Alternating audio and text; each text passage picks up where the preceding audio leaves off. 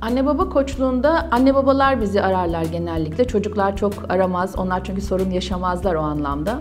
Anne baba aradığında çocuğuyla iletişiminde sorun olduğunu ve bu iletişimde nasıl e, iyileştirme sağlayacağını ya da nasıl anne baba olacağı konusunda çok fazla bilgi sahibi olmadığını söylüyor ve süreç içerisinde başladığımızda hem anneyle hem babayla birlikte koçluk sürecine dahil olabiliyorsunuz. Çocuğu da dahil edebiliyoruz eğer anne baba gerçekten çocuğun içeride olmasını istediğinde. E, haftada bir görüşmeler yapabiliyoruz ya da iki haftada bir. İhtiyaç neyse süreç içerisinde birlikte belirliyoruz. Bazen ev ödevleri oluyor anne babaların. Bu ev ödevlerini yapmak için zamana ihtiyaçları var. Öğrendikleri her beceriyi çocuklarıyla iletişimde hayata geçirmek için zamanı kullanmaları gerekiyor. Her e, görüşme arasında yaptıkları çalışmalarda yeni bir öğrenmeye neden oluyor anne babalarda. Her seferinde geldiklerinde bir adım daha ileri gitmiş oluyorlar.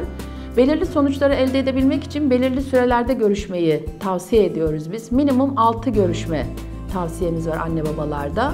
Bu elde etmek istedikleri sonuçlarla ilgili olarak süreyi uzatabilir ya da kısaltabilirler.